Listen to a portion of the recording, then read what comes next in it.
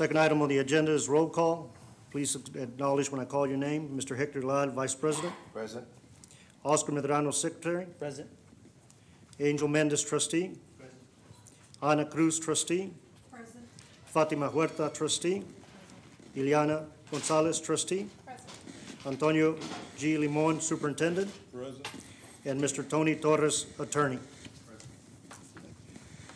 Move to item uh, Pledge of Allegiance and Invocation. We do have two guests, or one guest to represent. And Ms. Medrano?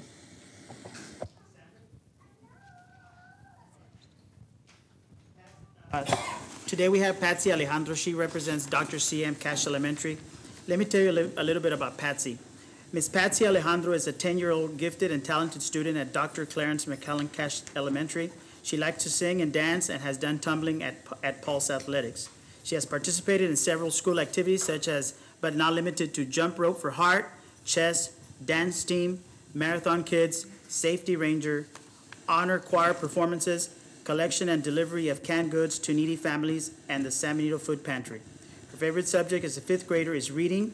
An accomplishment Patsy achieved this year is that of being a member of the AR Millionaire Club.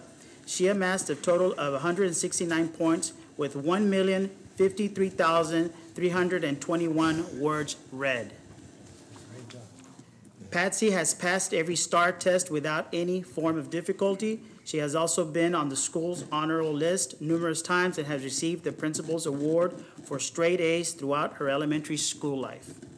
Given her study habits, good grades, and great parental support, Patsy plans to attend Yale University and become a pediatrician and give back to our community. Patsy lives with her parents, Manuel and Patricia Alejandro, and her brother Manuel. Patsy would like to thank the school board members, Mr. Limon, and Dr. C.M. Cash Elementary for affording her the best elementary school life experience. Patsy.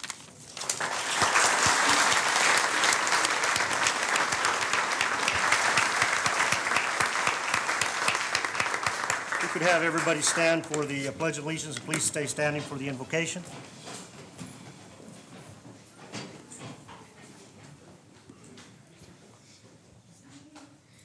I pledge allegiance to the flag of the United States of America and to the republic for which it stands, one nation, under God, indivisible, with liberty and justice for all. Honor the Texas flag.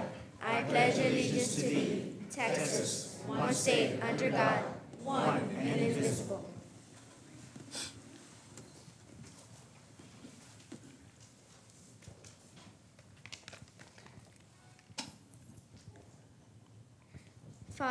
We give you thanks, praise, glory, and honor.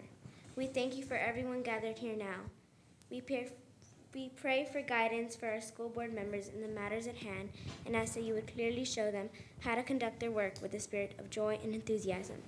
Help them to work together and encourage each other to excellence for the advancement of San Benito CISD. We ask this in the name of the Lord Jesus Christ. Amen. Amen.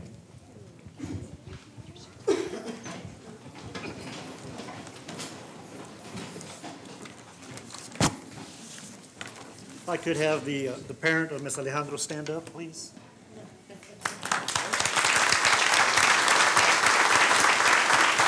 thank you for the support you show your child, and for you, ma'am. Thank you very much. Good job. Good job. Move to item number five, special recognitions. Ms. Longoria? We have several schools on the agenda this evening, several groups coming before the board for recognition. So we'd like to start by recognizing the first group that is on that list. We have some very special guests with us this afternoon joining us.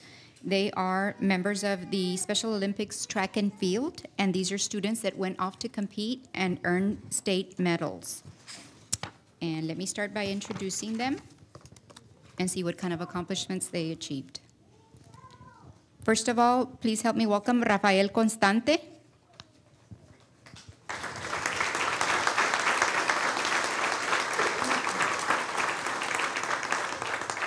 And we have Ms. Ileana Gonzalez doing the honors for the students this evening. Rafael Constante participated in the 500 meter run and earned a bronze. standing long jump, silver in that particular competition. The other student, Juan or JD Delgado, participated in the 50 meter run and placed fifth, and in the softball throw, placed fourth.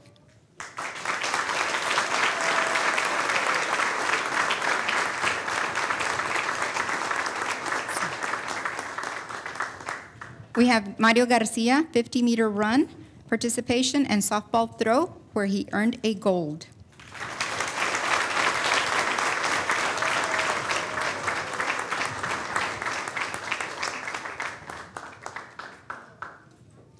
Miguel Gonzalez participated in the 25 meter motorized wheelchair obstacle, and he received a gold, and in the softball throw, earned a fifth place finish.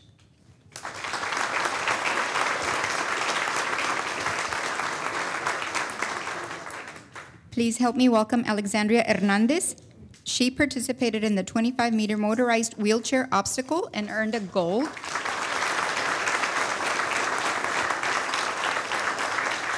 And also in the softball throw, and she earned a gold as well.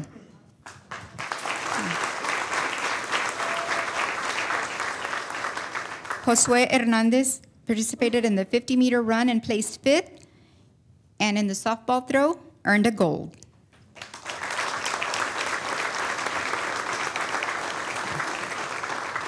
Next, we have Cassandra Jimenez, 200 meter run participant and placed fourth. In the softball throw, also placed fourth.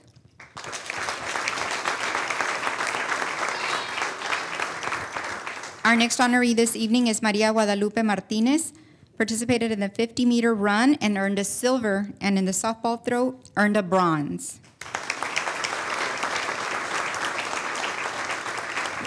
The students that I just called right now are all students from San Benito High School.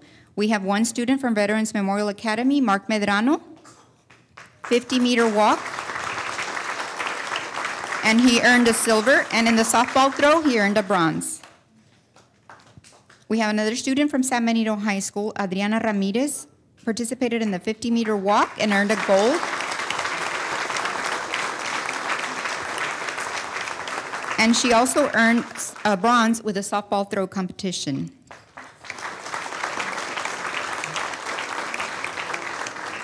Miranda Reina from VMA also participated with the group. And this participant took part in the 50 meter walk and earned a bronze, and in the softball throw, placed fifth.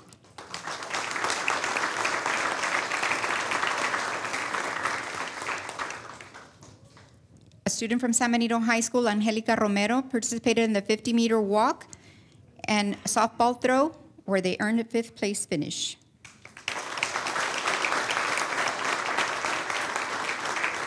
Amanda Sierra participated in the 50 meter walk and earned a silver, and in the softball throw, earned a bronze. And Amanda is a student at Veterans Memorial Academy. The next honoree on the list is Greg Vargas. He participated in the 50 meter run and earned a gold. Standing long jump, earned a bronze.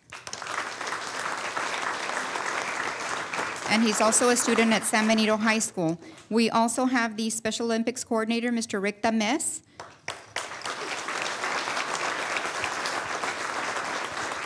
And we would also like to acknowledge the coaches, Davis Edsel, Cindy Garrett, Cindy Puente, Monica Ibarra, Gabriel Gonzalez, Jesus Rodriguez, Melissa Desinais, and Edward Reza. And these are the students that went to compete at the Special Olympic Track and Field competition that was held on May 23rd through the 25th at Arlington, Texas. And this was at the Summer State Games. And these student athletes participated and awarded all these medals at this state event. So congratulations to the students.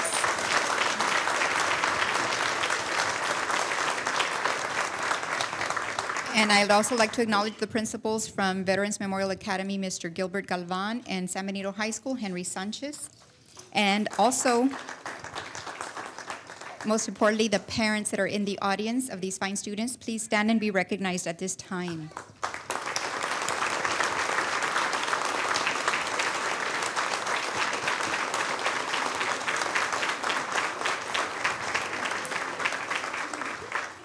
Great job, students and coaches. Thank you so much for representing San Benito at the games.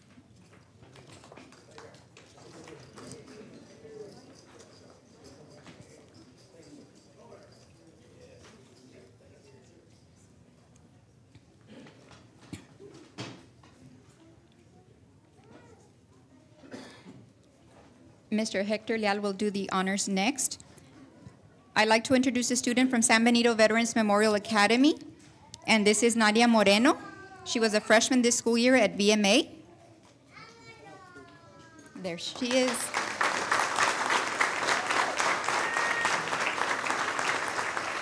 She is the first female to advance to state competition. And this is uh, in the school's history. She earned a Division One rating in guitar solo competition. She received an opportunity to advance at state competition, where she competed at the University of Texas at Austin in May. So congratulations to Nadia Moreno.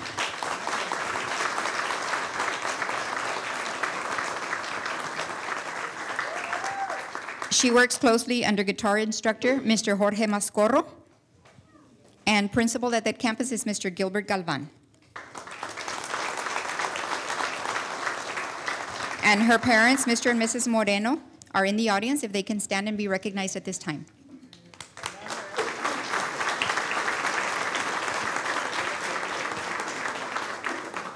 Congratulations, Nadia, on making history. Next, I'm going to turn it over to Luis Gonzalez from the Parental Involvement Department, and he is here to introduce all of our chess winners. We have several schools being represented, and uh, I'd like to welcome him, and he will take over from this point on. Thank you all so much.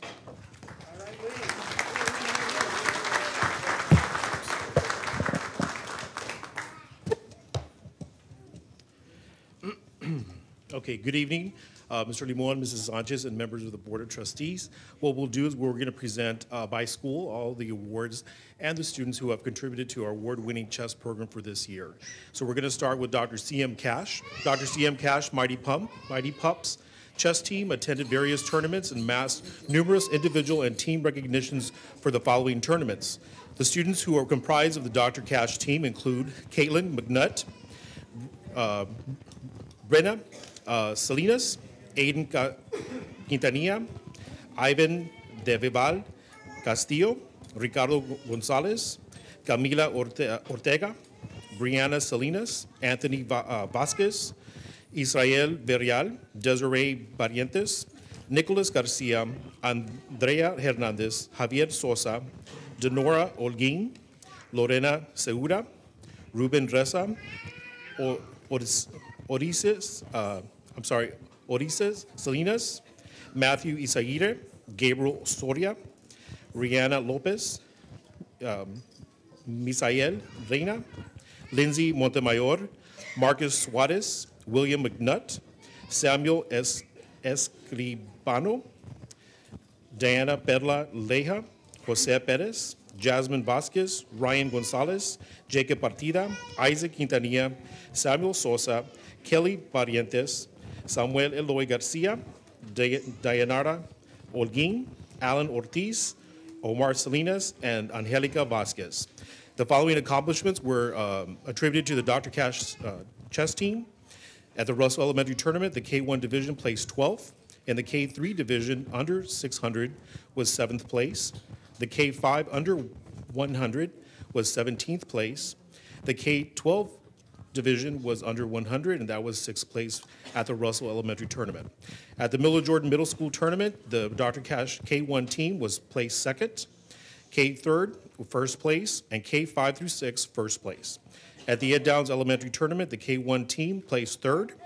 At the Hannah, Homer Hanna High School Tournament in Brownsville, the K1 uh, team tied for ninth place. K3 under 600 was first place, and the K5 under, under 1,000 was first place as well. At the regional uh, championship tournament in Brownsville, Texas, the K1 division tied for ninth. The K3 under 700 was 17th place. The K3 championship team was 11th place. The K5 under 800 was 37th place, and the K5 through 6 championship team tied for sixth place. At the Stell Elementary Tournament in Brownsville, the K1 division uh, placed 13th. K third, under 600, was tied for third. The K-5 through 6 placed third as well. At the National Chess Tournament held in Dallas, Texas this past month, the K-3 division placed 26th nationally, K-5 under 900 tied for 17th place, and the K-5 championship team tied for 30th place at the National Chess Tournament in Dallas, Texas. So congratulations to the CM Cash Elementary chess team.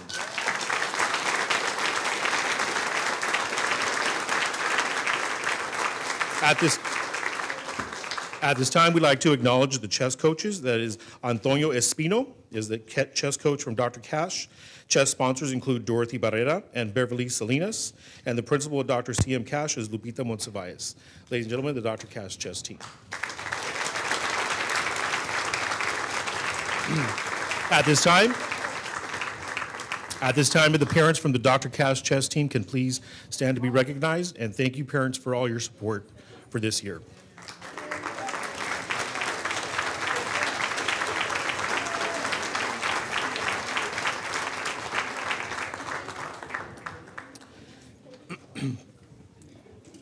The next team to be recognized will be the La Encantada Elementary Chess Team. Their accomplishments at the 2014 Regional Region 8 Chess Championships included, and I'll name the students who participated in that school. The students include Ezequiel Hernandez, Damian Olivares, Antonio Lambert, Emmanuel Diaz, Jason Gonzalez, Davian Garza, Nicholas Jimenez, Victoria Marin, Gardiel Garcia, Crystal Delgado, Joshua Richmond, Angel Flores, Eli Ol- Olorcia, Isaac Reyes, and George Delgado, and Valerie Olivares. The team sponsor and the team coach is Manny Gonzalez. The after-school program coordinator for La Encantada Elementary is Fidel uh, Gonzalez Jr. The awards that were awarded to them at the regional chess tournament include primary JV, seventh place, elementary JV, 22nd place, and elementary championship, 23rd place. Uh, The principal at La Encantada Elementary is Gracie Martinez, and we congratulate La Encantada chess team.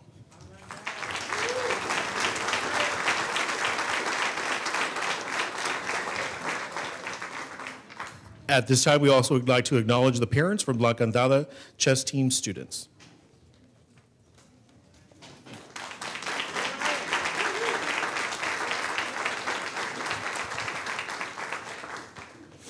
Thank you.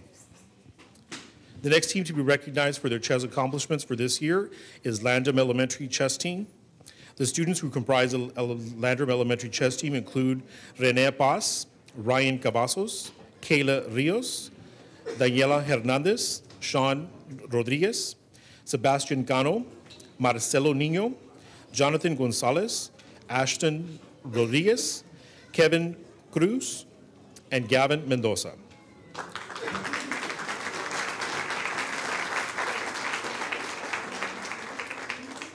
The chess coach for Landrum Elementary is Michael Galvan.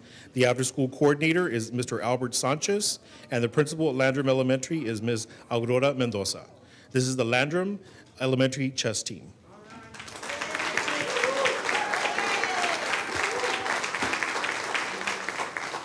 At this time, we can have the parents stand to be acknowledged for the, the students from Landrum uh, chess team.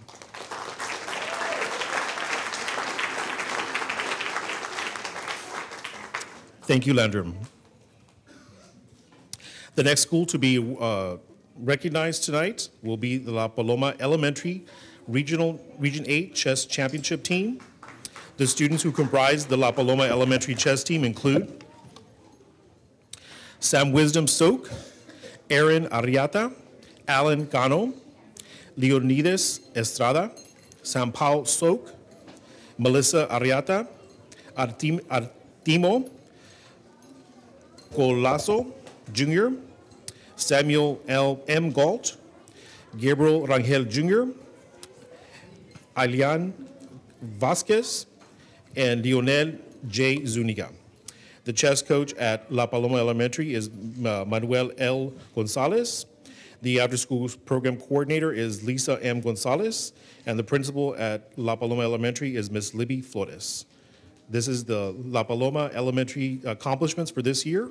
They include at the regional chess tournament, the K first grade division was a ninth place team and received a trophy for their accomplishments. Ladies and gentlemen, this is the La Paloma Elementary chess team.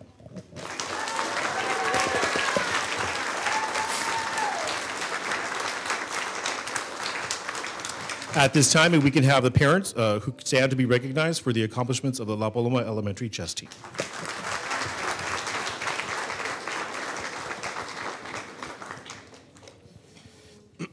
Thank you. The next school to be recognized in our schools will be Rangerville Elementary Chess Team.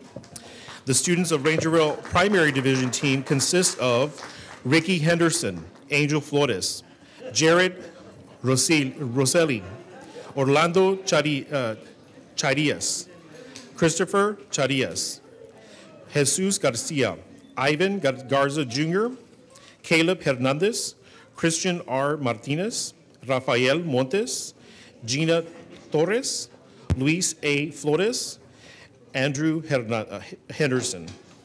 This is the primary division team, and also included in there is uh, Edward Martinez, Amanda Montalvo, Catarino Reina Botoya, Andrew Silva. This is the primary division. The elementary division students comprise of Georgina Allen Ari- Ariano, Joshua Garcia, Mark Sauceda, Kirsch- Kersha uh, Cha- Charias, Aiden Garcia, Callista Hernandez, Ingrid Munoz, and Nicholas Ro- Robles. The um, after-school side coordinator at Rangerville Elementary is Janie Flores, and the principal is Miss Linda Molina.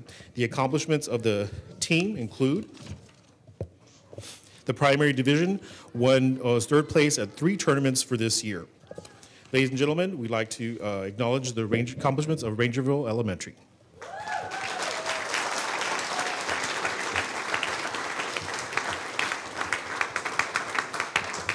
At this time, we have the parents stand to be acknowledged for the, for the students from Rangerville Elementary.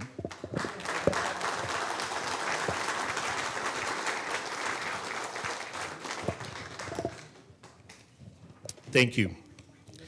The next school to be recognized from our chess program is the San Benito CISD Riverside Middle School Chess Team. The members of the team include Michael Thomas, Fabian Olivares, Aaron Saldana, Robert Torres, Mauricio Diaz, I, Ian Anthony Reyes, Ociel Peña, Juan Lambert, Edric Garza, Joseph Garza, Vin, Vin, Flores, Noe Mendez, Thomas Diaz, Juan Jimenez, J, and Jason Noah Martel, and Gerardo Rodriguez. The chess coach at uh, Riverside Middle School is Mr. Manuel Gonzalez. The after-school side coordinator is Ms. Cynthia Reisted, and the principal is Mr. Joel Wood. The accomplishments of the Riverside Middle School chess team include competing at the regional uh, chess tournament in the six through nine section, and they placed sixth in the region this year. Uh, excuse me, fifth in the region this year that was held at uh, Brownsville. So at this time, we'd like to congratulate the accomplishments of Riverside Middle School's chess team.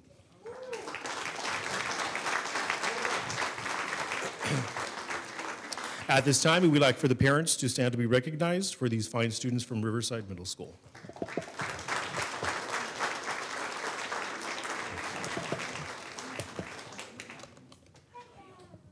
Thank you.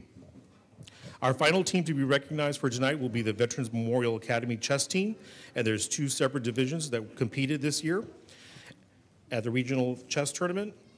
The members of the team include Brandon Vasquez, Juan D. Corona, Delilah Davila, Edmundo Maldez, and Jasper Aguilar. These group of students competed at the regional chess tournament in Brownsville, and their division was the high school JV division, which they placed fourth. The uh, after-school coordinator at Veterans Memorial Academy is Albert Farias. The chess instructor is Robert Miramontes, and the principal is Gilbert Galvan. This is the JV uh, uh, team accomplishments, uh, fourth place at regionals for Veterans Memorial Academy. Thank you. Can,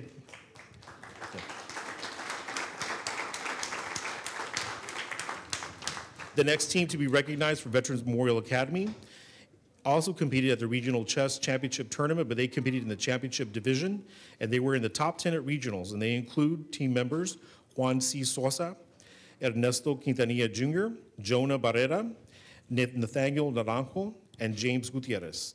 They placed 10th at the Regional Chess Tournament this year. Congratulations, Veterans Memorial Academy's Championship Division.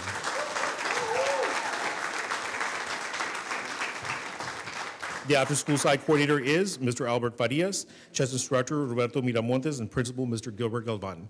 We'd like to thank all these students and all these teams who have contributed to our award-winning chess program for this year. Thank you.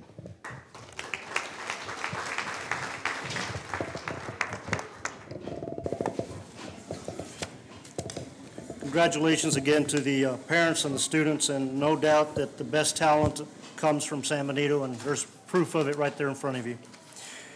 Move item to, move to item number six, Superintendent's Report. Thank you, Mr. President. At this time, I would like to inform the board of the overnight trips that have been scheduled. We have the high school FFA state competition that's scheduled for Clifton, Texas, June the 6th through the 10th.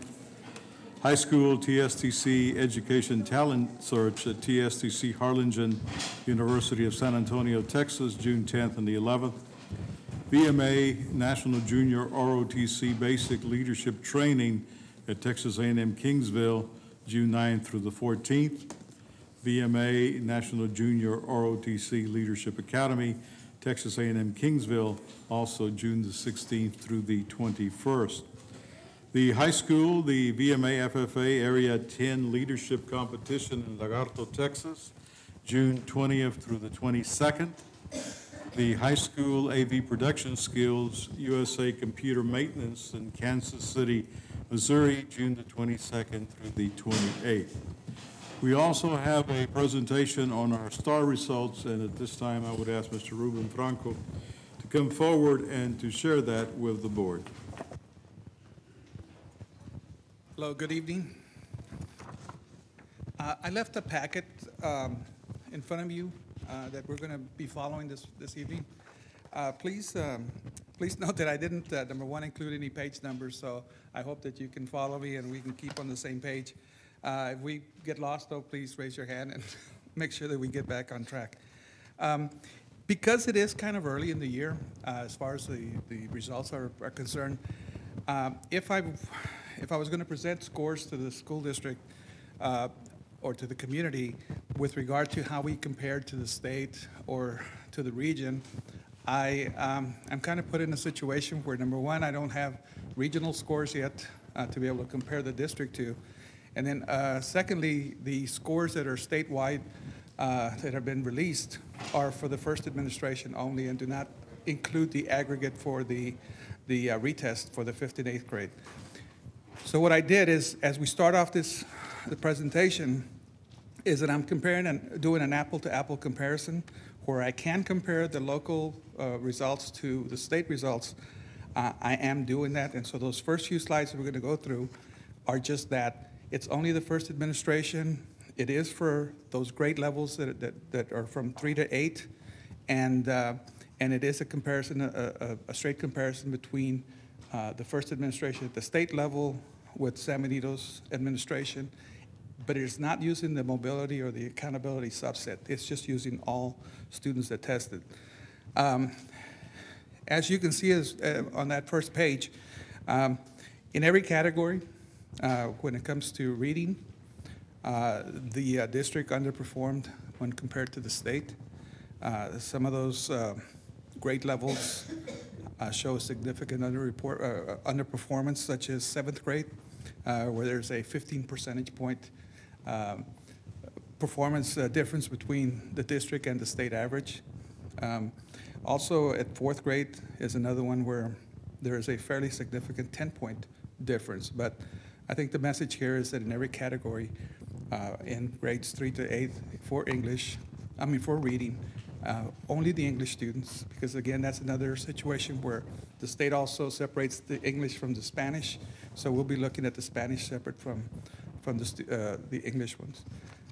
So this is uh, certainly a concern. Uh, The district is looking at this, and if we turn the page, we can now see the results for the Spanish administration for reading. Spanish is only provided in three to fifth grade, or third to fifth grade. I did, no- a- as you can see, there's some very large uh, differences. Uh, Up on your upper left-hand corner of the page, I've put on there for each grade level, the number tested versus the number that passed. Uh, And, and, and that's to let you know, for example, like at fifth grade, where there's a significant disparity between us and the state, um, we are talking about 17, uh, 19 students that were tested district-wide, of which seven passed, so that left only 12 students. So although it says 37% passing, and it obviously is very low, uh, we are talking about 12 students in this case. And I know every student is important, but I do want to put it in perspective that in, in, in these situations where we have small numbers, the percentages will change drastically. If we turn the page to math now, uh, once again, we see that in every category, uh, we underperformed as compared to the state. Um, Certainly, the seventh grade has uh, the, the most significant disparity between the performances. Uh, We turn the page and look at the Spanish math. Uh, Once again, we see the same thing. Uh, We see at fifth grade the most significant differences between the, the local and the state. Uh, But again, I, I caution you to look at the upper left-hand corner, where it does show that uh, we're talking about 11 students that did not pass.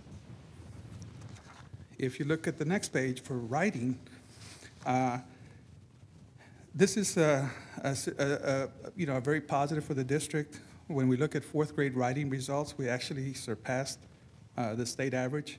Uh, They were at 73, uh, San Benito was at 75. So that's very encouraging. Uh, Followed by the seventh grade, where we're only seeing a 5 percentage uh, drop from what the state performance was. Uh, So that's also encouraging as well, especially in lieu of seeing those previous slides. Uh, Looking at Spanish, which is, uh, was conducted at fourth grade, uh, once again, you know, it's a significant, well, not as as significant as some of the other slides that we saw, but there is a uh, six percentage point difference. And again, we're looking at, uh, there were only 40 students that were tested in the Spanish. Now, if we look at the science results, uh, these were tested at fifth and eighth grade. Um, This is very, uh, very good to see that, that at fifth grade, the district was only one percentage point below the state average for science. Uh, And at eighth grade, uh, they were just two percentage points below the state average. So that's very encouraging. Uh, If we look at uh, the next page, fifth grade uh, Spanish science, uh, once again, we see a a stark difference between the performance of the district versus the state. However, if you look at the upper left-hand corner, you'll notice that we're we're looking at 10 students who did not pass.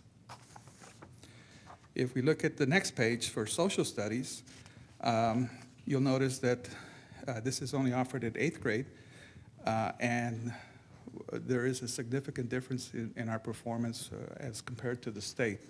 Uh, and certainly, these are numbers that are looked at internally, and, and of course, at a campus by campus level, they're looked at individually, and, and much more detailed reports are run down to the student level to help campuses focus in on the deficiencies that are, that are present on that particular campus.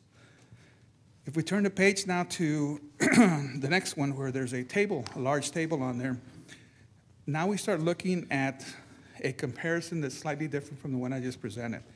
This one includes all types of STAAR testing, the STAAR, the STAAR L, uh, the STAAR M, and the STAAR alt results. Um, It also includes the second administration.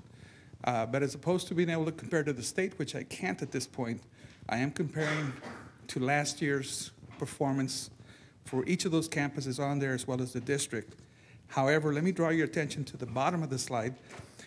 There have been some changes, so when you see some big discrepancies, such as you'll see at the high school for math, where there's the difference of 45 percentage points, please note that whereas last year at the high school, uh, they tested for English 1, 2, and 3, writing 1, 2, and 3, that's a larger pool of students. This year, they only tested for English 1 and English 2. And of the English 1, Uh, Those were the retesters that hadn't passed it when they moved up from ninth grade. So it's a dif- very difficult comparison to make from one year to the next in that regard, because it's not apple to apple.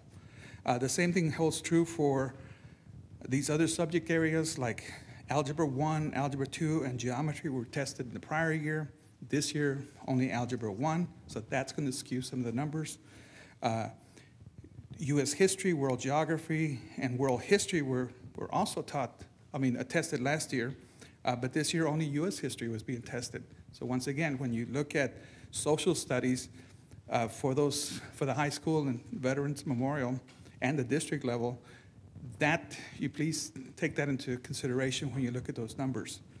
Uh, And then, of course, you can see that uh, in the science area, there was biology and chemistry that was tested in, in uh, 2014, uh, in 2013, and only biology in 2013. And in writing, um, there was writing one and two last year, and this year, it, only writing was at fourth and seventh grade. The English reading test now incorporates the writing with it. So again, it is, even though you look at some of these numbers and you, and you see a difference, in some cases significant, if it's at the top end of this uh, report, um, keep in mind that footnote that I have at the bottom. When you get into the middle schools and elementary schools, that is more an apple-to-apple comparison because they didn't test any more uh, uh, subject areas this year than they did last year. So that would be a fair comparison. So if you, um, you know, if you want to look for the negatives, then you look for any rows for any campus where it has, you know, uh, the worst they could do is have four successive uh, red numbers on there, which means that they dropped in every category from the year before. Uh, Conversely, if you see nothing but black, uh, such as, uh, I do want to point out, for example, Rangerville, uh, here's a situation where they had very positive gains in every subject area, and I might add with a brand-new principal in place as well. So, so that is a very positive. Um, Now, everything that I've mentioned doesn't really relate directly to uh, the accountability system that the state will hold the district accountable for. Uh, There is an index system that is used. The next few pages, and I won't go over each one of them uh, in detail, but please notice that between last year and this year, there are significant changes in how those indexes uh, uh, are, are, are used. Uh, Specifically, the targets have changed where they did give us a target number, but also what is included uh, has also expanded to incorporate either more subjects, more population types, um, and, and that, of course, will mean that the indexes will change. So you can go through the next few pages on your own if you'd like, uh, and we'll get to the next graph, or the next chart. That's the one that says uh, projections with second administration. This is where I do my best to try to project what those index values will be, where I can.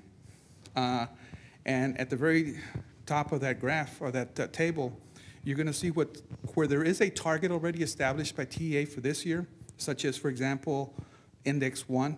Last year, for every area, um, the target was 50. Uh, This year, they raised that target to 55. Now, this is directly related to the performance that we were discussing a while ago. So if you look at what the index values that we've computed as a projection uh, are under the column of 2014, if you see any, any campus or even the school district below the 55, then that would probably be a, a campus that we need to be concerned with, that they may not meet the, the, uh, the standard that the state has set. Uh, As you can already see on that first uh, column under Index 1 for 2014, we do have one campus um, that is in jeopardy of, of not meeting the standard. As we move across the page, um, for the Index 2, please notice that I have NAs for what the value or the target number is for this year, because they have not set that. This is based on a, on a five, you have to be in the fifth percentile and above to not be subjected to, to uh, being sanctioned under this index. Since the state has to evaluate the whole state results before they can then align them by uh, district, by high school type, middle school type, and elementary type to come up with the, where do we set the, the- the, the 5% value at? Uh, Since they haven't done that, we can't speculate that it's the same as it was the year before, which I show you on there that there are some target values for index two from last year. But I would caution you to say, well, if they passed it last year, let's say with uh, SBVMA with 25, well, then this year they're sitting there at 35, they must be doing a lot better. It's going to be a different target value. So I can't project what that's going to be. But I can say that overall, I feel very comfortable that based on the changes that I see, that none of the campuses or the district is in jeopardy of not meeting index two. Again, that's a projection on my part. The same thing goes with index three. There have been a number of changes that you can see on the previous pages uh, as it compares to 2013. And once again, this one kind of scares you at looking at it at first glance because you see big changes from one year to the next year. And, and I mean, they went down. But they also went down because of the inclusion of a lot more tests. Uh, you know, the STAAR alts, the STAAR, STAAR Ms, additional population groups that previously were excluded are not going to be included. So when the state recalculates the percentile to find out where to place that fifth percentile, uh, it's going to be set at a lower number than it was last year. And so I wouldn't panic at this point when you see something like this. It's just that the, that, that the indicators are changing themselves and until we can see it, and I wish we had it, you know, already, but the state won't release the preliminary results, by the way, till August 1st. So that's still a little ways off. Um, But I, again, I don't believe that the district is going to have any issues with index three as well. Um, And then the last index, index four, uh, they previously did not have that measure for middle schools and elementary schools. Uh, And for the district and the, the ninth to 12th grade uh, level, it was set at 75. Uh, For this year, they have already established what those are going to be. For the district, you need to meet 57. Uh, For um, the high school, it'll be 57. For the veterans, it'll be 21. And then for the middle schools, it'll be 13. And the elementaries, it'll be 12. And of all those that are listed on there, the ones that are were more, more solid in our projections are the middle schools and elementary schools, because we pretty much have all the data that's going to be used for creating that, that index. And the only concern I have is that one campus that has a 13. Uh, It's an elementary school. It's a different school than the other one that is marked in red. Uh, And if there's any, you know, if we're off by two percentage points in the calculation that we're doing locally, um, then that could potentially be another campus that did not meet the standard. Uh, Hopefully, the calculations are, are are accurate and, and, you know, we'll still just remain with one, but, but that is just, I'm I'm pointing that out, that that's a, a- possibility as well. Uh, The middle, the uh, high school, VMA, and the district, you might notice that, you know, they're, they're, they're at 36, 46, 46, yet the number that they need to attain are either 21 or 57. I caution you there to also not read that much into it at this point, and the reason for that is because it is still missing uh, uh, certain information, such as graduation rates, uh, dropout rates, uh, performance uh, for college readiness rates that have not been factored into this, this number that I have that's on here. So I, I foresee those numbers are going to increase considerably, and, and again, I don't believe we're going to have issues with index four with any campus other than that one that's awfully, awfully close, uh, that elementary school. So if you turn the page to the last page, uh, in essence, this is what I'm projecting for this coming school year. This is the most uncomfortable I've ever felt making a projection because there's so many variables that are still not uh, solid. And so it makes the, uh, it's kind of like forecasting weather. Three days you feel comfortable, but 10 days out you feel very uncomfortable. This is like a 10-day weather projection. And I'm saying that the district will meet standard, uh, but we may have one campus that will not be meeting the standard. Um, uh, that- That's it for the presentation. I'm open to any questions you might have.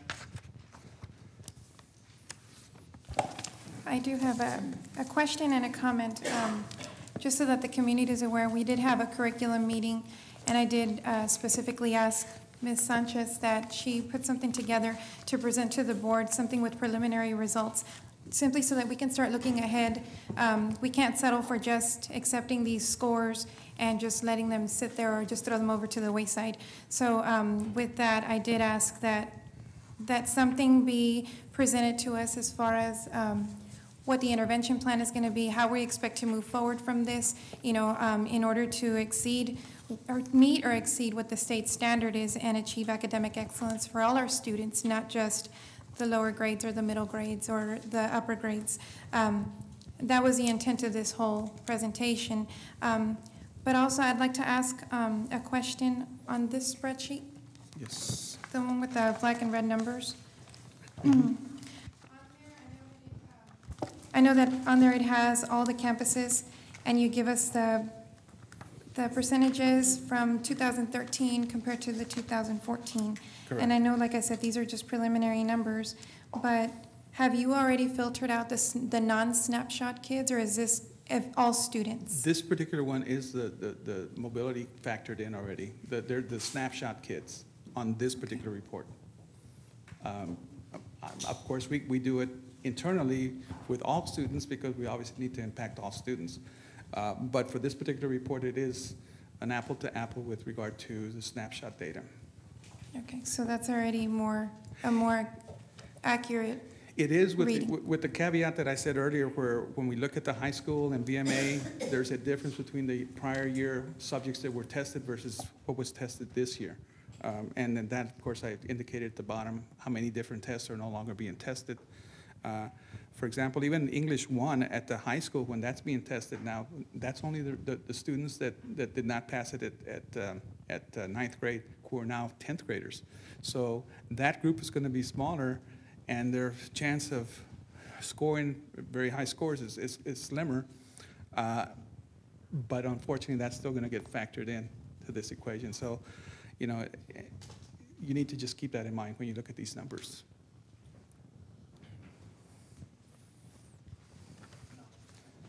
One, uh, one comment I do have is, I understand that this is a difficult device to put together, and, and I understand there's a lot of variables, and as you mentioned, there's some reports and some, uh, some information still lacking from, from the TA as far as the test scores and how, how the, how your, your percentages are formulated. But I would ask that maybe as you, as we get into the summer months and you start receiving some additional information, you get a better understanding of truly where the district is, that we may have a special session or maybe even a workshop with, with the trustees to, to get a feel of what your intentions are and what, what corrective measures are being formulated, so that we can at least get a true picture of where we were at the end and what we are doing to resolve our, our problems.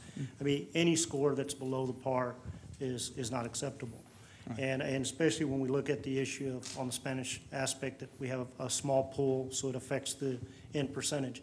Irrelevant, it becomes an issue of all students should be Correct. approached and all students be, be reached, which also goes back to, uh, and I know Mr. Mendez had asked for a copy of what the, the STAAR scores were per campus, per teachers, just so we could take a look at it and maybe just get an idea of what this looks like globally. We understand that that's just one component uh, amongst many, as you've, as you've illustrated. Yeah. Uh, But it does give us an opportunity to see the perspective of when, uh, when we look at budgetary issues and when we look at curriculum requests and all that, we have, we have a full understanding of, of where we may be failing and where we may have to undertake specific corrective actions to, to, uh, to get there. So, so I know that Mr. Mendez had brought it to my, my attention that, that he had requested, so I would only ask that uh, if we can, if we get that information uh, again, and then uh, maybe we'll look at over the next uh, six to eight weeks, when you start getting some, some of the numbers that you're lacking, and come back and revisit this and maybe in a, in a more relaxed atmosphere, a workshop opportunity to really have some dialogue going back and forth between the trustees and how you formulate these scores. Outside of that, of course, I commend you for preparing. I know it's a difficult document, and we understand that we try to rush you through these, but uh, we Yeah. appreciate this. Uh, And, you know, I just want you to pl- please understand, also the community to understand, that what's being presented here is, is just a very summary uh, of, or a snapshot of what actually is being disaggregated district-wide. Uh, At the campus level, a lot of this, these disaggregations go down to this, to the teacher level. Uh, I, I know that principals use it to see how, which teachers are having more success than others, but more importantly, they, they look at the, the individual students to see how they're performing by the various objectives that they need to, to, to, to meet, the TEKS. And so they are then tailored with some kind of a, an acceleration program or, uh, or an IEP for the following year that targets those deficiencies. So that kind of activity goes on at the campus level. And, and so I, I don't, I don't want you to think that, that because we are still missing more data, that that hasn't already occurred. It is still, it's occurring as, as we get this data because we can disaggregate down to that level, and- and we do. Uh, And so certainly the, the principals are- doing that. And uh, as we move into the year, staff development is, is, uh, is, is definitely um, impacted by the needs that come from this uh, research that they, they look at and the data. So, you know, a, a lot of things do happen, Mr. Padilla. Thank you very much. Thank you. And And just to add to that, thank you, Mr. Franco, for an excellent report.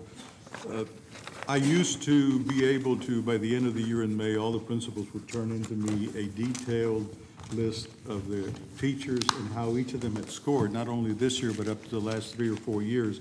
And we had a comparison of, you know, how they did two years ago, you know, one year ago, and we could look and detail it all.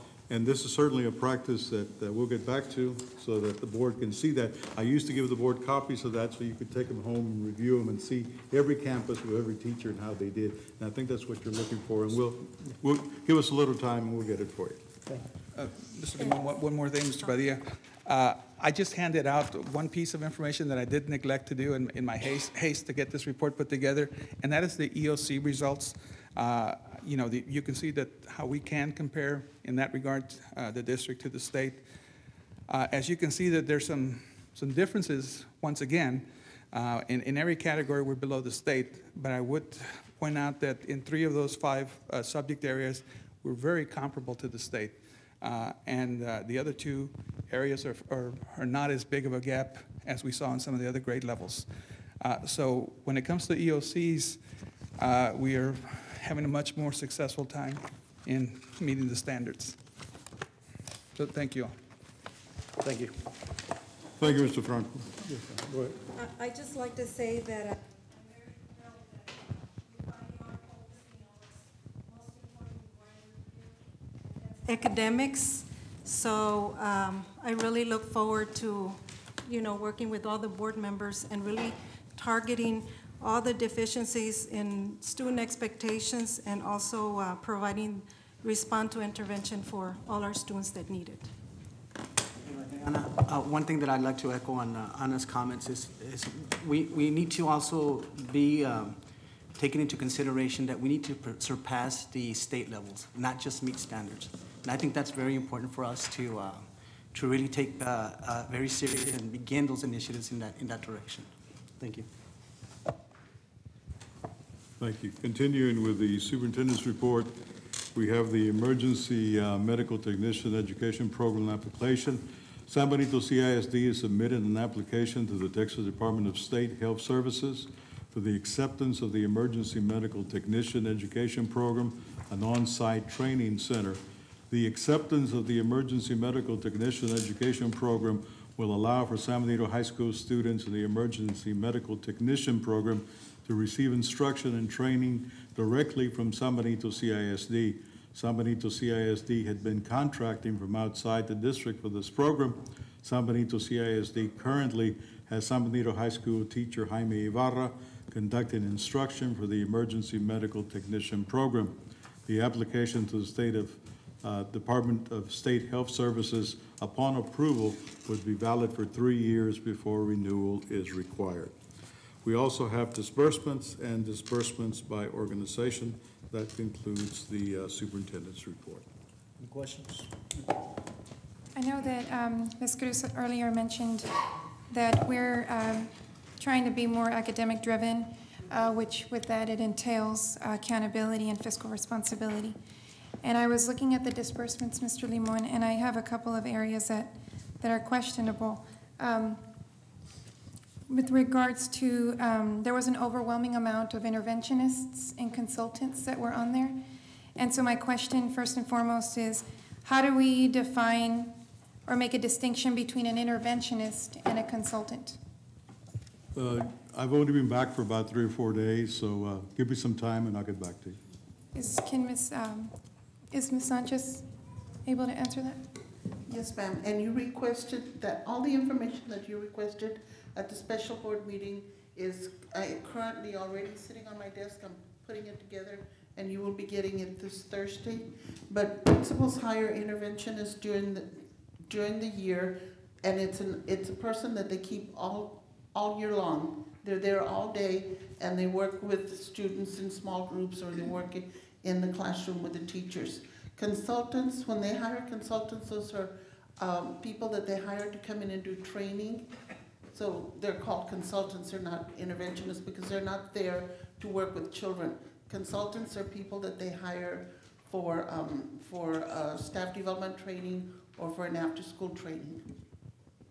Okay, Okay, so my question, um, again, goes back to the interventionists and the number of consultants that we have listed on those disbursements.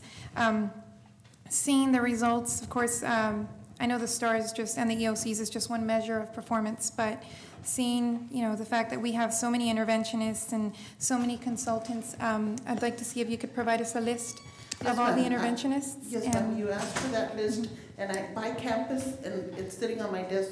You'll be getting it Thursday, I need to submit to the superintendent so that he can review it and then send it to you all. And on there, does it have, does it specify the costs associated with each? Yes, Okay, and is there, uh, that you might recall, is there any that are doing both consultant and interventionist? Because I ran across one that was doing both. That's, that's the reason why I ask, how do we distinguish? I know, I asked the campus, I, the campuses submitted them by interventionist, tutors, and consultants. Right. And there was a, one particular name that had both, both, I um, have, I haven't come across that one from my campus, but if you'll let me know, I'll certainly, okay. Um, so I- I'll, I'll go ahead and get with you on that one because it is kind of questionable that there's so many interventionists and, um, much speak for themselves. Um, on a different note, on the election, um, the clerks, the judges, the alternate judges, Emma, I think this question might be directed more towards you. But there's, um, they're all listed there individually. So my question is, why is there a variance in the compensation? The judges get paid a different rate. They also get paid a, a flat amount for, uh, bringing the records back to the office. Some of the places were able to bring the stuff back very quickly, you know, shortly after seven o'clock they're done. Some of the larger precincts, it'll take them maybe till eight, eight-fifteen to get done. So it's based on an hourly rate. Yeah, because I noticed that there was um, quite a variance on there, and, and it's assumed that most of them worked on average seven to seven. So that's why I was questioning, you That know, would be from the one minimum. judge to the other. Right, because they, they, they have to be there before seven AM, and they finished after seven. But they all get the, the same rate, except for the judges get a, a slightly higher rate. Okay. If I could, Ms. Gonzalez, and I appreciate the questions being posed. And I'm wondering if this isn't something that we should approach at in a finance committee meeting, especially if you're, if you are uh, putting together a report on the financial cost and the, and the, uh, the amount of contractors we may have had. I do believe that we may be trying to schedule another finance committee early part next week. Uh, This would be an opportunity to really maybe take a true closer look at this and give Ms. McCall and Ms. Sanchez an opportunity to formulate something that, that would be a little bit more informative.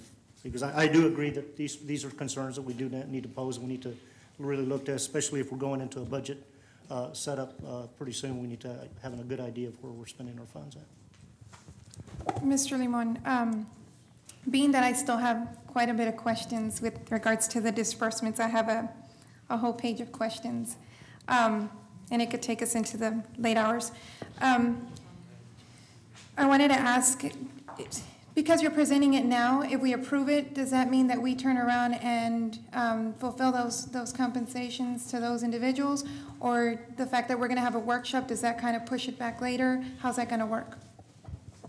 Ma'am, if it's on the disbursement report, it's already been compensated. So that, that's already, we can go back and look and correct it if you think there's an error there. But by the time you get the disbursement report, that's already been done. Okay, No, okay, my, my question with regards to this then is the fact that there's, I think there's expenses on there that maybe we could have avoided. Um, Take, for example, and I'm not sure if I can mention names, but I'll go ahead and mention um, initials. We have, uh, under the GT, we have a GT consultant, um, initials ER, where we paid them as a consultant versus what we paid out to Region One for the training. So my question is, if we have GT directors, why are we paying outside consultants that have nothing to do with training? Again, uh, Ms. Gonzalez, if you give me time to review it, I can have answers for you. These are things that happened before my time, so I'll be glad to review them and, and meet with you and and give you all the answers that you need. But I just can't do it now. Okay. If I, uh, if I could add it, and I know you, you so you have a long list of questions on disbursements. Maybe you should go ahead and formulate those, hand them over to Ms. Limon. Uh, Not excusing Mr. Limon, but I do understand that he just got back. But these questions are legitimate issues that we need to look at. And it goes back to, again, if we're going to have a finance committee meeting, there would be probably a better opportunity to truly look and segregate every item that you have a concern with to understand why those expenses were approved, when were they approved, uh, who signed off on them, and were they even budget items to begin with. So Right. I I think that'd be the best form, and I think for, for the sake of moving this meeting along, it would be best maybe we go ahead and, uh, and forward your list to, to Mr. Limon so we can ta- truly take a look at it. If you would please, or email it to me, or we'll be glad to answer them.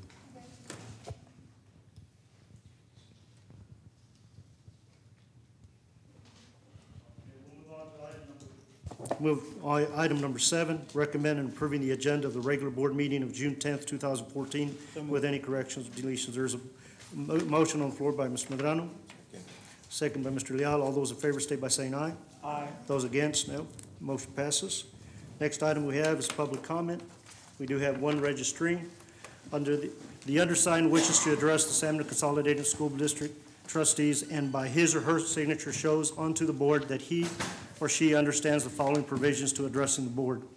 The person wishing to address the board shall register with the presiding officer or designee no later than five minutes before the announced time of the school board meeting.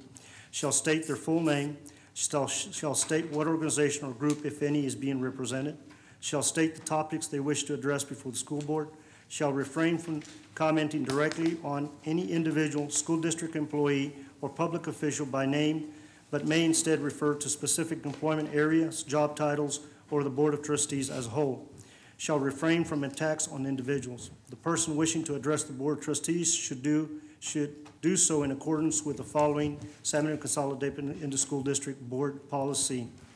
The speaker shall be allowed only five minutes to give his or her presentation.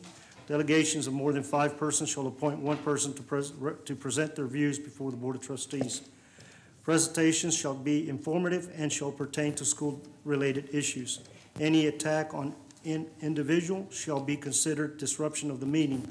The Board trustees shall not deliberate, deliberate or decide regarding any subject that is not included on the agenda posted with notice of this meeting. We do have Mr. Andy Bonner.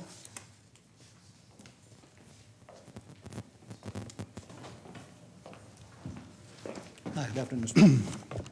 Ladies and gentlemen of the board, my name is Andy Bonner. I'm the president of Healthcare to You, one of the bidders in the on-site clinic uh, bid that apparently is going to be on the board for approval tonight.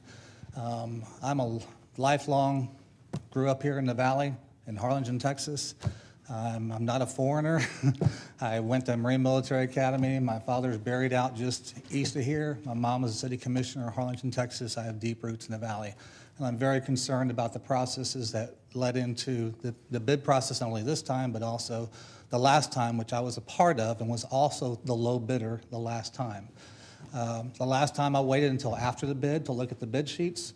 Uh, I saw some irregularities in the bid sheets. I brought them up to uh, the business manager and the uh, purchasing director.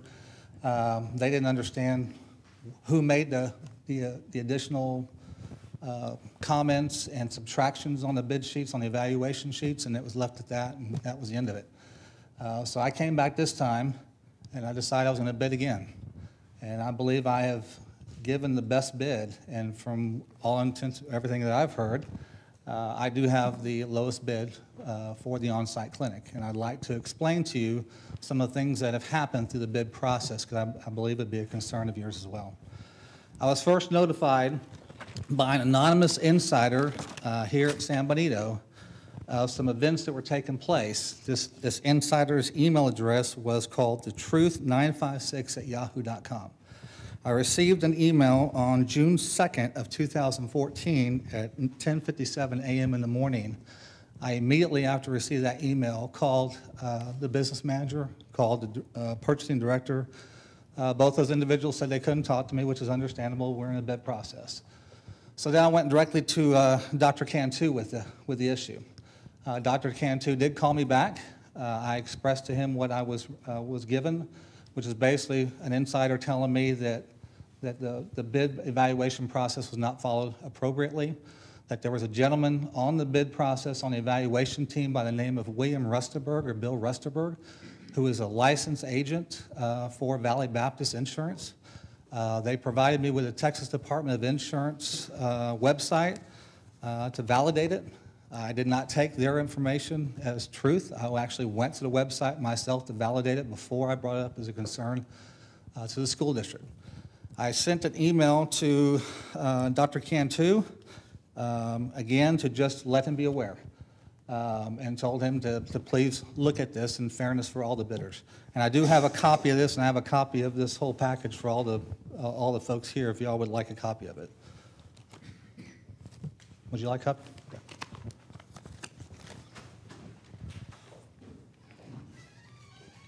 Okay.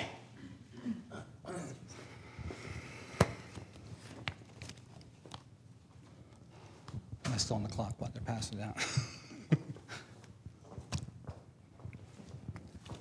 Sorry, here's an extra one if you need it.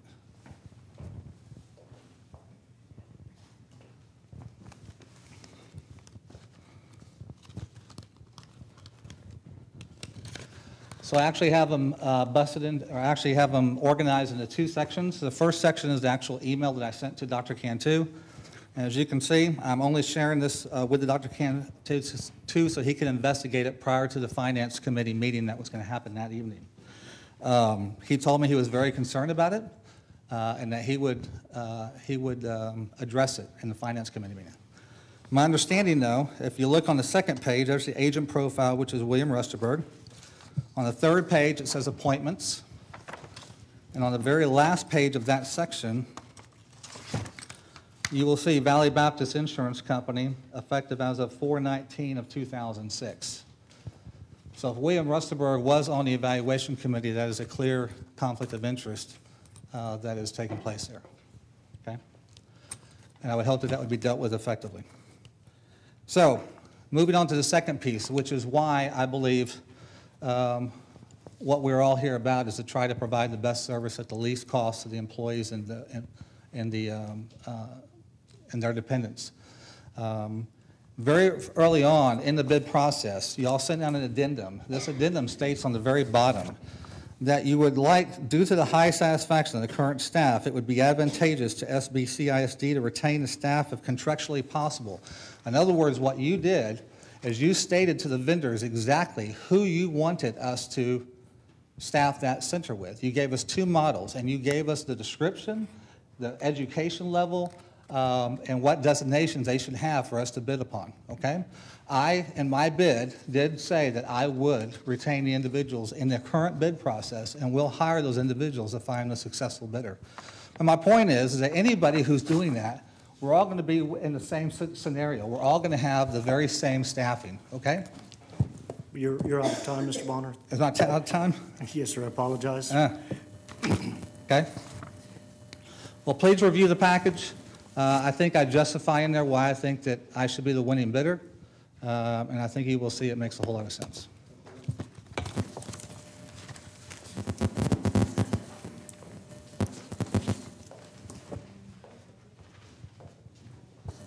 Move to item number nine. In order to promote efficient meetings, the board may act upon more than one item by a single vote through the use of consent agenda.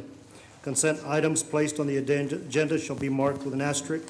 Consent items for which no board discussion is anticipated and for which the superintendent recommends approval. Prior to the time for which approval of consent item is had, at the request of any board member or trustees, any item on the consent agen- agenda shall be removed and given individual consideration. 1406A1, request for approval for children nutrition program to apply for community eligibility program sponsored by the United States Department of Agriculture. 1406A2, request for approval of proposal on student health, student athletic insurance. 1406A3, request for approval of proposal on on-site primary health care clinic. 1406A4, request for approval of renewal proposal on property casualty insurance with TASB. 1406A5, request for approval to exercise option for renewal of workers' compensation insurance with TASB. 1406A6, request for authorization to request proposals for a third-party administrator for employee group health benefits. Question. 1406A7, request for authorization to request proposal for the cafeteria benefit plan, IRC Section 125, to include all ancillary voluntary plans. 1406A8, request for approved funding of HVAC summer project upgrades. Question. 1406A9, request for approval of signature cards resolution for Samuel Consolidated and School District Bank accounts for Frost Bank, National Bank. 1406A10, request of approval of 2013-2014 budget amendments. 140611, request for approval of budget transfers. 1406A12, request for approval to enter into memorandum understanding with TSTC Harlingen and the Challenger Learning Center of the Rio Grande Valley for the 2014-2015 school year. Question. Under Administration, 1406A13, request for approval of board minutes. May I have a motion on all those not questioned? There's a motion, second. All those favor state by saying aye. Aye. We'll go to 1406A6. Uh, Before I ask for question, I am going to ask that this time, item be tabled. Um, And I also will ask that this item be tabled with, with a request that the providers of the current health policy, in this particular case, assured benefit administrators, present to this district and to these trustees a concise report on the managed care plan to this district uh, at the next Finance Committee meeting, which I would also ask that our chair host one this coming Monday. Uh, But I do believe that it is important for this district to know exactly where it is financially in its managed care plan to then make an informed decision on placing this item back on. Uh, It is possible we'll have a meeting on the third, on the 17th, and the item may be back on the agenda, but it'll give us an opportunity to get a full and detailed report from the service provider, because my understanding is we've not had one detailed report that indicates exactly where we are financially. And uh, we need that uh, true to this date, so I ask that that item be tabled. It requires, yes. I second. I Well, okay. Actually make a motion. Motion by Oscar, sec, seconded, oh, uh, motion by Mr. Leal, second by Mr. Medrano. All those in favor, state by saying aye. Aye. Item tabled. We do have a question on fourteen oh six A seven. Okay, so I had questions, um, and I wanted to kind of, the questions that I have primarily pertain to those two items, fourteen oh six A six and A seven. Um, and my questions are, once again, to hear if there's any complaints or concerns, um, that would, that would also apply to fourteen oh six A six. So I would like to, because the same questions apply for the most part, I would ask that, that, uh, item be tabled as well. There's a request for tabling. Is there a motion? I'll make a motion to table it. Okay, so moved by Mr. Leal, second by Ileana. All those in favor, state by saying aye. Aye. Item is tabled also. Question on fourteen oh six A eight. Um, I've got a question on this. I understand that we had discussed this in the Finance Committee meeting. I do believe that we did get a presentation on some of the, uh, I apologize, my iPad's not, not working. Did have some questions on the, um, the, uh, the amount of estimated repairs that, that were, that were uh, proposed. Now, I think we'd ask that we take a, a, a detailed look at just exactly how many components and what, where those components were going to be. I understand that, uh, Mr. Montes, you did prepare an item, uh, but the question I do have is, is your request is um, intensive, Yes. fairly heavy. One of the questions I asked is, McCall, is, is there room to adjust the budget for such a large demand at this time? Specifically when we're not ready to move forward with the 14-15 budget? Usually during the year, when we come to this point, I usually know where I can find, you know, some substantial amounts of money that we can use for his summer projects. This year, we've, I haven't combed through it to see if we can find all of that. And the, the big difference that we know we're gonna be facing this year will be that we have, we know that we're going in, in the red on our health insurance plan. And so, you know, I know I'm gonna have an amendment before the end of the year for that. Um, I can find money for them, but, you know, we, we will have some other extenuating circumstances. Now, I think what he's gonna show you mm-hmm. is we have been saving money, you know, over the years because he has, you know, the, the projects basically do pay for themselves. And so that's, you know, where it might make sense to go ahead with, you know, some, if not all of what he's proposed for this summer, because usually we do get our money, you know, does come back to us in the, in the result of the savings. And I agree, I agree that uh, these, these changes are, are uh, good cost measures for saving in the electricity cost. I understand this district at one point was considering an EPC, and and frankly, uh, a district can manage its own EPC in this format. And, and I appreciate that. The, the value of your request is more of my concern, not necessarily that these projects are not needed by the district. Uh, No doubt they're identified, uh, but before we, you know, we didn't get a recommendation, we didn't really know where we're going to get the money, and that was my simple question is, uh, a request this large, uh, we need to be assure ourselves that we can sustain this in our budget. And, uh, The answer would be, I can probably find most of that money.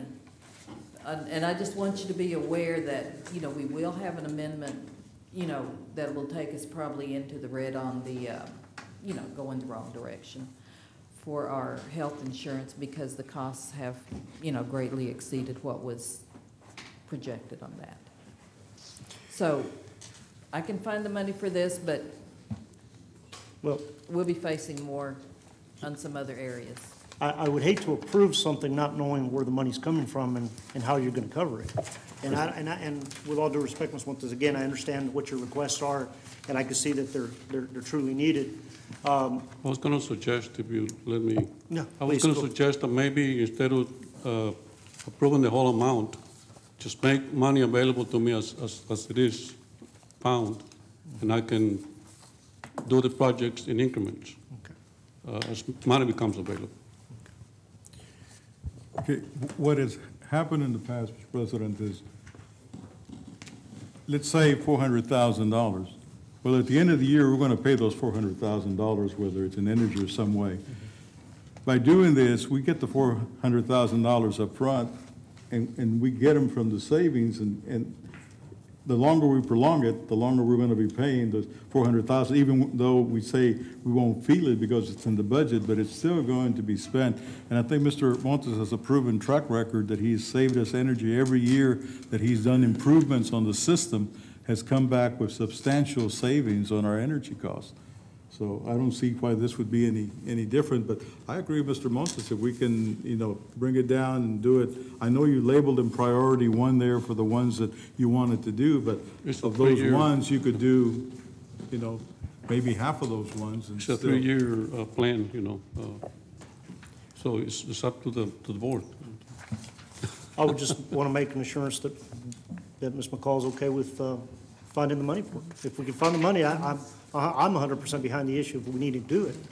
But uh, I'm- five hundred and twenty-seven thousand dollars is a lot of And- money. And, you know, on something like this, it's not, not like salaries, which you're gonna have that every year. This is, you know, every year we just pick a project and, and we take care of it, and it does save us money in the long run. And, uh, you know, it's money up front, but then it, it comes back to us the next year. That answers I that guess, answers my question. Mr. Chairman, I guess uh, the finding the money is the question. I mean, where, where are we going to cut? Or how, when you say find, I'll find the money, Okay, Where- this time, where- of- this time of year, I, I s- I can usually look through the budget and I can find areas where, for instance, I budget health insurance for everybody, but there's some people that decline health insurance. So I have some funds in that, that area. And, uh, you know, sometimes there's areas where maybe we budgeted for substitute teachers and we don't need all that, those funds. So I'll be looking at, at all of those type of areas, and I won't go above what I can find. Mhm. Right. And maybe the, the best way to approach an item like this is that it be visited with the business manager, and it correlates with what funds are available, and, and we already know ahead of time what is it that you can afford and not come, well, you know, we want this, this, you know, eight hundred thousand or a million or whatever it may be, and then look over and say, well, how much can we afford?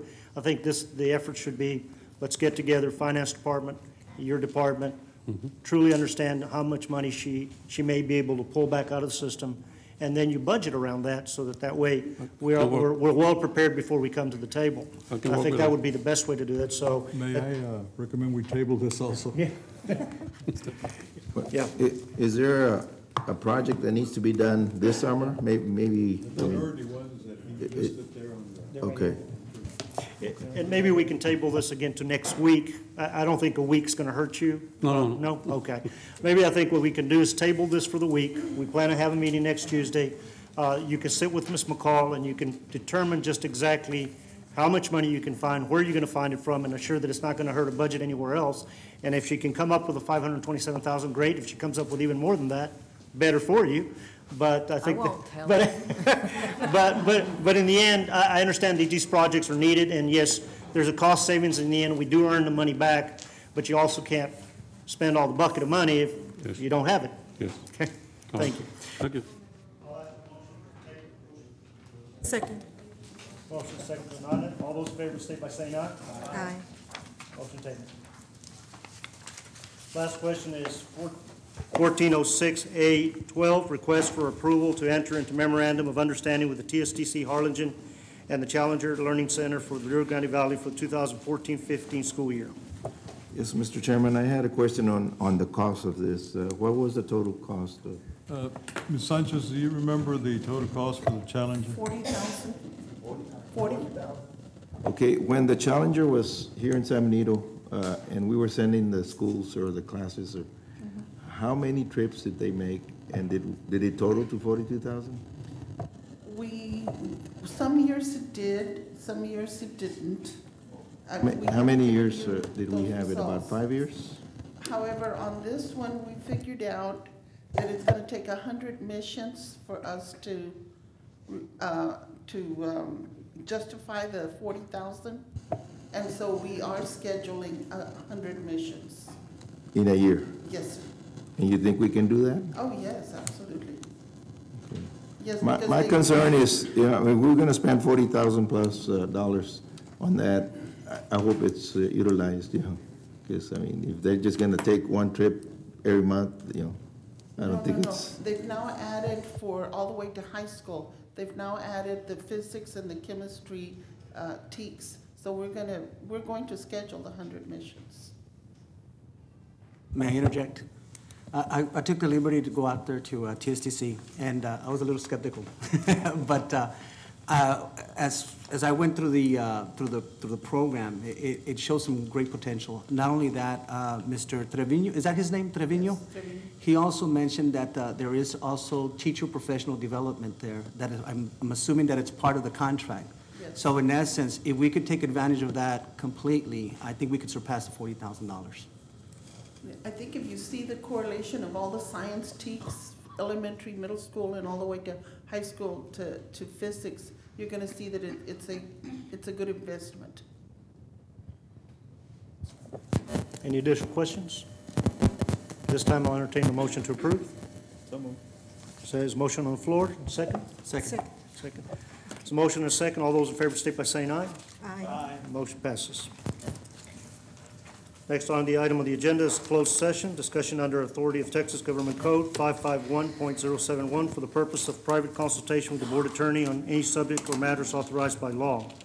551.074 for the purpose of appointment, employment, evaluation, reassignment, duties, discipline, or dismissal of a public officer or employee to hear complaints or charges against a public officer or employee. A, report on personnel. B, renewal of contracts, employment, resignations, and retirement.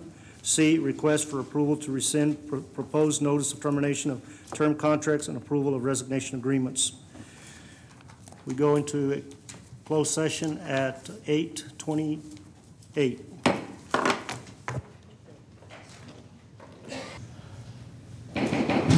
Session is ten twenty-six.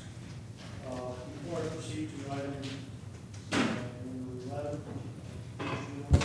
Uh, Thank you, Mr. President. Uh, This should have been covered right after Mr. Franco's presentation and the superintendent's report.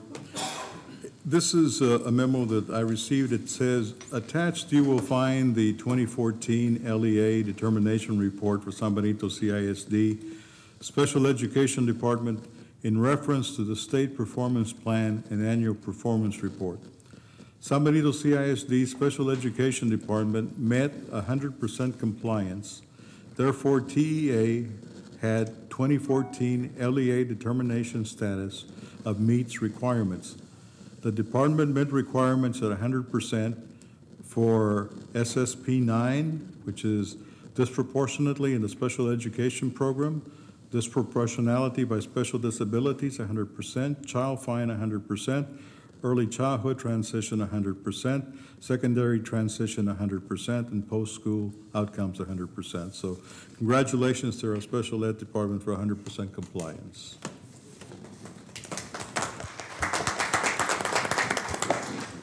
Good news. All right, we'll move on to item number uh, A out of item 10. Action on items discussed in closed session if, if necessary. I'll ask for a motion to approve items B and C as presented by superintendent. So move. Second. There's an, there's a motion and second. All those in favor state by saying aye. Aye. Those against? All those, motion passes. Uh, Next item is item 11, adjournment. So move. Second, all those in favor state by saying aye. We are adjourned. Thank you.